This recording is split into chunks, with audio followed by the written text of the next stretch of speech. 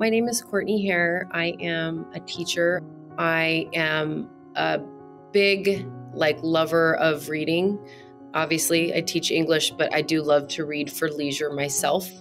Um, I like to play outdoor volleyball. I like to garden. I like to explore. So, actually, I took an anatomy and physiology class in college. And one of the only things I remember from that um, was that the professor said, most often when you have internal bleeding of some sort, it is your body's inability to heal itself, and that usually comes in the form of a tumor. And so, um, what had happened was I had gotten a teaching job in Othello, where I grew up, and I um, moved down there. And this was August of 2020. When I moved to Othello, I started showing one symptom, and I had blood in my stool. And I instantly knew, I knew instantly that I had colon cancer.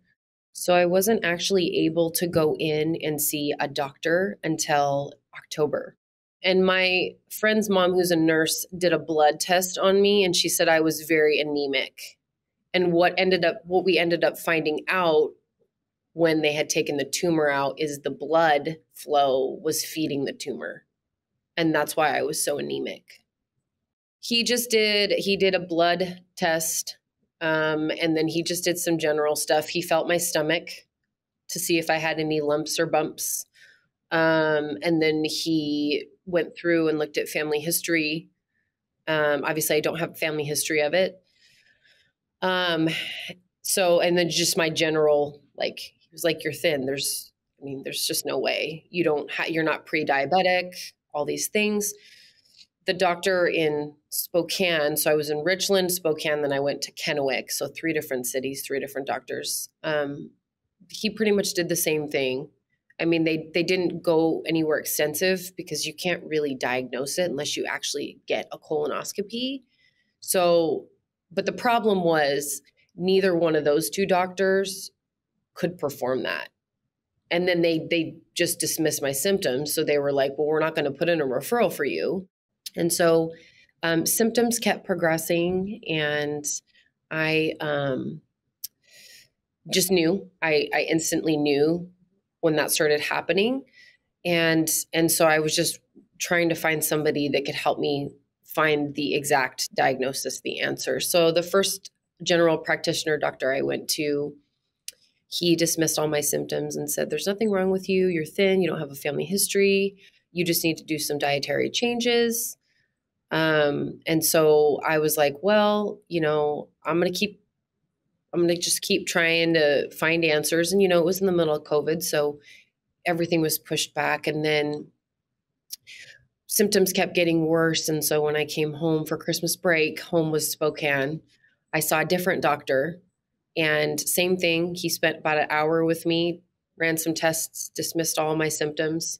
But I knew I was sick. I knew I had colon cancer. And so I just kept pushing. And the first doctor in Richland, he actually had put in a referral for me to see a GI specialist. And so I was actually able to see a GI in January of 2021. Same thing. She dismissed all my symptoms. And finally, I just said, listen, like, this isn't about you being right or me being right. This is about figuring out what's wrong. I said, you're speculating and I'm speculating because all of them were saying, you know, we think you have Crohn's or diverticulosis, diverticulosis, um, and or a bleeding hemorrhoid. And I said, no, like I think that I'm sick. And I said, what can we do? And she said, well, we can give you a colonoscopy. You're too young. Um, and they're very expensive. And I said, well, I'm a teacher. I have great health insurance. I said, we need to do this. I said, I think it'll give me peace of mind knowing that we have tried everything. And so a month later, she did a colonoscopy and found the tumor. So that was February of 2021. Um, and so then that that whole month and a half that I went through, essentially just I did nine different tests. I did three three colonoscopies, a sigmoidoscopy, two CAT scans, a PET scan, and an MRI and there was one other one I did, I can't remember the name of it, but basically all of those tests kind of brought me to like the diagnosis of, you know, what are we going to do? What's the plan of action going to be? You know, one of the greatest skills that my parents ever taught me was the ability to advocate for myself and to know your body. And I just knew, I knew I was sick. I had that feeling in my stomach. And I think that um, sometimes science can only go so far. And sometimes you have to you have to put it in your own hands and and keep pushing for it. And it was a unique set of circumstances because when I did my colonoscopy, COVID cases were very light. So I was able to go in and get a colonoscopy. When I had my surgery, COVID cases were really light. So they didn't push my surgery back. And it was just the perfect, these were just perfect little windows where things ended up really working out in my favor. I paid a little bit out of pocket, but it, it, it was mostly covered, yes. Um, the problem was, and this is something that I think a lot of people run into when they're getting tests done, um, especially like a colonoscopy or sigmoidoscopy. Um, my insurance company did not want to pay for the right type of drugs. So I actually didn't know that I was, they, I didn't hear the confirmation. They actually had to tell my parents. And it took eight hours for the drugs that they gave me to wear off. So I actually didn't find out like about the tumor until the next day my parents waited to call and say hey because they they tried to talk to me after the procedure and i was just bonkers. After all of the tests came back because the original plan was to do some radiation six weeks of chemo and then do surgery. After the mri which is the biggest one came back the radiologist calls me and says this is kind of miraculous but your tumor is really a lot smaller than we thought so we're going to operate. Nothing else is lighting up in your body so we're just going to go for it and operate. So they did. Um, Dr. Holbrook went in and did a lower anterior resection and took out part of my colon, 21 lymph nodes, and then he took out my appendix because he was like, I had a stage four appendectomy patient who's 17 years old last week. He's like, I just thought I'd take your appendix out. So I took that out too. And I was like, okay.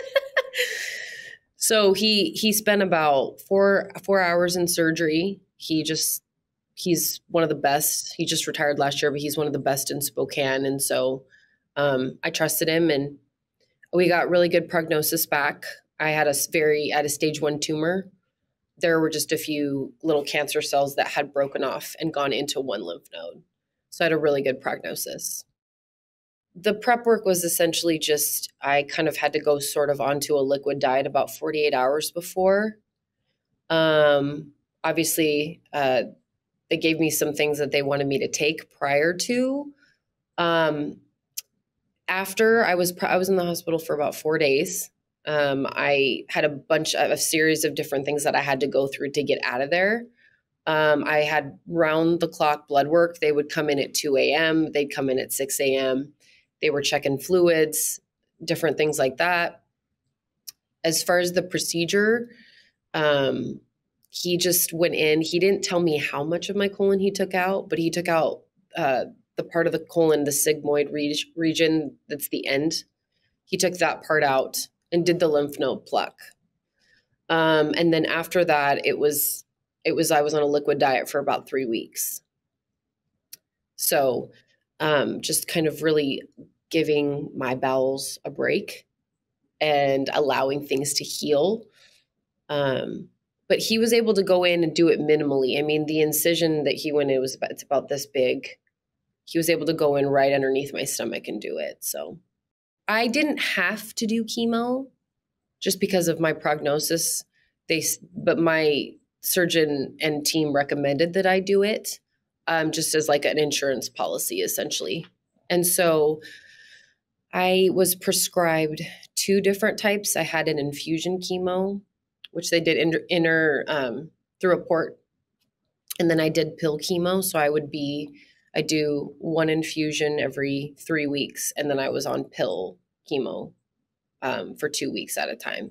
Day four of chemo journey, and the sickness officially hit me Friday night.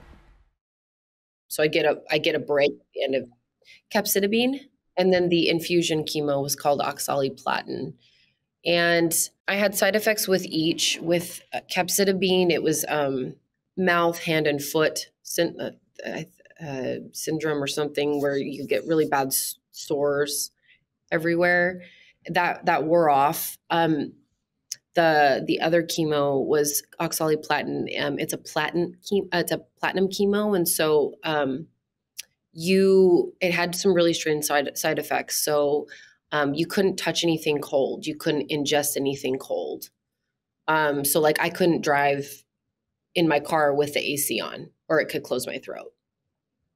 So everything had to be room temperature hot, and it was in the middle of the summer. And so one of the biggest issues I ran into was I was dehydrated a lot. Um, I was hospitalized two different times for dehydration, um, which was scary, you know. But um, and then I lost a lot of weight. I I think I lost about 25 pounds, and just trying to you know eat when you're not hungry watch what you eat. You know, they tell you you can't have raw fruits and vegetables while you're on chemo, which is so weird because you should be eating healthy foods. And they just kind of said, eat what you can. So, um, the first two days after infusion chemo and pill chemo, you're like the sickest. Um, it's really, you're nauseous.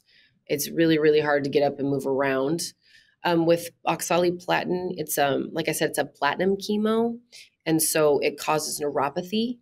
So you have a lot of tingling going on in your body, and it got to the point where it like I, my eyes were affected by it. It was like I could taste it in my mouth. It was very like all consuming all throughout my body. And so I did my own research about my particular prognosis and I, you know, decided that um, based on what I had researched, I stopped oxaliplatin at four rounds. Um, that's the infusion chemo. A lot of patients push past that, and there are some patients that end up disabled from doing that chemo. And so I did not want to do that. I didn't want to risk that. Plus, it was making me so sick that I could barely eat. I had, when I was dehydrated, I would go in and get pumped with fluids. That helped. Um, I did take Zofran um, to help with the nausea. Um, but I think the best possible thing, and you know, you can't be in the sun either when you're on chemo. There's you have all these things that you can't do. I think for me, the best possible thing that helped with the side effects was just to get my mind off of it. Um, so I actually taught. I taught full time while I was on it. So that was just my choice. I wanted to just not. I didn't want to lay in bed every day and dwell on it. That's just kind of my personality. And so I, I decided that I was going to work and help let that be the thing that would help get my mind off of it. So I did I did oxaliplatin for three months, and then I I did capecitabine for six months. Um, when I went back to school to teach, I did physical therapy, um, and that helped a lot um, it helped me just kind of build up strength because I'd lost so much muscle mass and lost so much weight, and helped with with getting through those days. I am almost at the three year mark of being in remission. I I count it as April. My uh, my oncologist counts it as November because that's when I finished chemo. But I think that the surgeon got everything. I just hit like the two and a half year mark, so now I go every six months. I was joking with a friend and I just said, you know, I just, you're part of an exclusive club now and it doesn't really ever leave you. And so I think that um, with this anxiety, I, I just, I do my best to just try and stay positive. It's always really um, quite exhausting, you know, because it's a four, four day process, blood work, scan, meet with your doctor. Um, my aunt is uh, a phlebotomist, so she's always encouraging, giving me tips on how to you know, stay positive and hydrate, make sure you're ready to go. Um, but it is a real thing. And I, I, I honestly don't think that it ever gets any better. I think that you just learn how to manage how to live with it. If I'm being honest. I mean, the farther out you get, I think I think you feel better, right? The farther out that you get, you feel better. But um, I don't think that it ever really leaves you. I think that it stays with you. I would say that the message, besides this idea of the fact that, you know, you need to advocate for yourself and, and you need to be able to listen to your own body, I think that the message that that I could share with others is that science only goes so far. And knowing and understanding your body is really, really important in listening to your body because to you, if you're sitting in front of this doctor that doesn't know you, you're just a statistic, right? They're trying to kind of see where you fit. And if you don't fit the category, you don't fit the profile, of course, they're not going to suspect anything, right? And um, I also think that the message is that you have to ha- you have to hold on to your faith, right? You have to hold on to your faith, and you have to keep pushing through roadblocks, things that are in your way. You just got to keep going until you find the answers that you you really desire to have. And for me, that was I'm sick of hanging out in ambiguity right? Like, I know I have it. You are speculating, but that's why we have science, right? That's why we have these things. And it doesn't, we shouldn't be profiling people based on their age or the way that they look. We should be listening to the patient, listening to their concerns. So that would be my message is to advocate for yourself and and to know your body, know your body, listen to your body and keep pushing until you find answers. And I think for me that's why I'm alive and well today is I can sit in front of this camera and speak with you is because I advocated and I continued to push until I got the answers that I, I needed. And it's it's you know, I don't blame any of them, right? They're doctors, they're human. But I do think that they need to listen to their patients better. I think that they need to listen to their patients, listen to the concerns that they have, and really do a better job of, of putting something in place that is going to help really help eliminate this ambiguity. And for people that you know that may not like feel as as comfortable to advocate you just have to remember that you know your body